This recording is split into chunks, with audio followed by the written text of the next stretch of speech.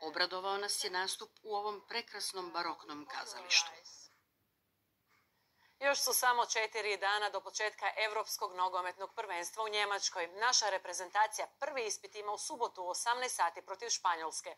Utakmica se igra u Berlinu, put kojega će i mnogi naši navijači. Vatreno navijanje već počinje.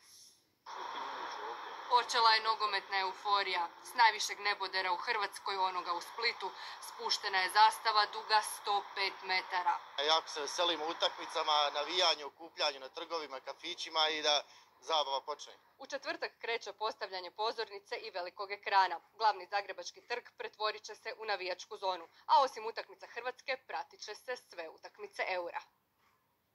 Pripremili smo dosta programa, bogatog, e, bit će jako puno poznatih naših pjevača koji pjevaju znači i domoljubne pjesme. U Splitu će se gledanje organizirati na Zvončacu, u Osijeku na kampusu, u Varaždinu na Europskom trgu. Priprema se i prigodan program, nagradne igre, gastro ponuda.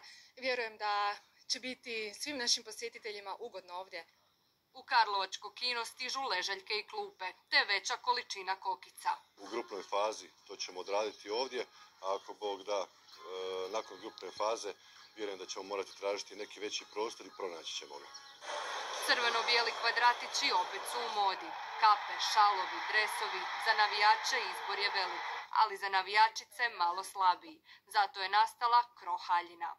Sve su ili preširoke ili prekratke, uvijek je nešto falilo. I onda kao prava modna dizajnerica sam zaključila najbolje da se sašijem. Znači to je bio bum preko noći. Sve ide po narudžbi, da imamo ni jednu sad trenutno u dućanu. Odavno nema ni ulaznica. Cijene na službenim stranicama kretale su se od 30 do 200 eura. Crno tržište buja. Sada se prodaju i po 800 eura. A za 300 eura može se navijačkim autobusima do Njemačke. Interes golem. Osim prijevoza uključen nam je e, jedno noćenje, e, noć prije utakmice i onda doručak na sam dan utakmice. Tako da konkretno netko ko radi od ponedjeljka do petka mora se uzeti samo petak slobodno i bit će u Berlinu. U slučaju problema navijači u Njemačkoj mogu se obratiti Hrvatskom veleposlanstvu. Svi dežurni telefoni će biti u funkciji veze prema Ministarstvu vanjskih i europskih poslova kao i diplomatskih konzularnim predstavništva da će biti na najvišoj razini. Govorimo o konzulatima u Minhenu, Düsseldorfu, Stuttgartu, Hamburgu, Frankfurtu i ovdje u Berlinu. U svakom slučaju bit ćemo na raspolaganju cijelo vrijeme do prve utakmice vatrenih ostalo je 5 dana.